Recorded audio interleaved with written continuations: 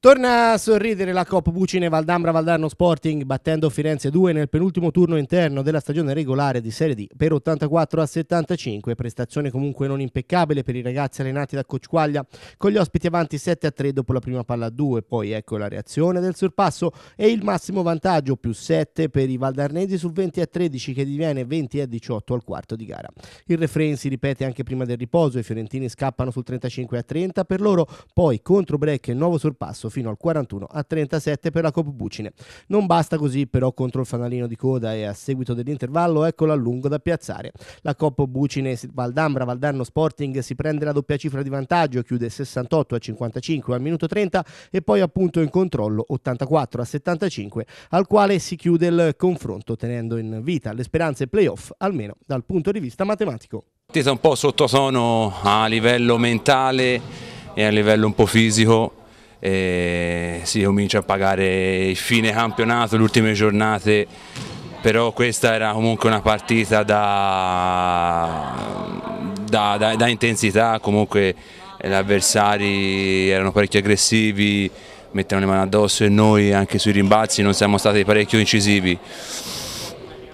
Però l'importante sono portati questi due punti in casa e dalle prossime partite analizzeremo quello che oggi non abbiamo fatto, ovvero un po' la mancanza della difesa, un po' di rimbalzi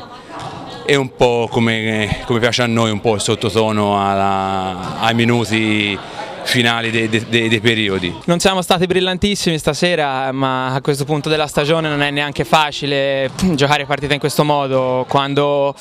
soprattutto gli altri non hanno più niente da chiedere al campionato c'è sempre il rischio di, di sottovalutare l'avversario, di prendere un po' troppo alla leggera e poi la situazione si complica. Di, di buono c'è che siamo riusciti a vincere e interrompiamo un trend negativo che ormai andava avanti da, da troppe partite. Sicuramente non è la prestazione che dovevamo fare, adesso ne manca ancora tre partite con squadre di livello leggermente o un po' più superiore,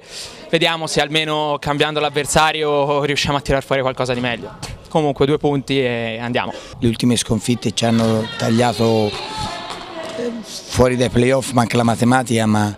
eh, l'impresa è sicuramente durissima visti i punti di distanza dal, dagli ultimi posti utili per, per il post season e sicuramente ha influito nella prestazione di questa sera con i giocatori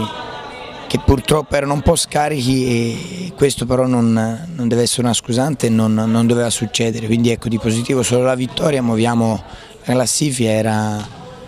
tante settimane che non rivincevamo, circa un mese, fine febbraio la vittoria con Castelfiorentino e poi una serie di sconfitte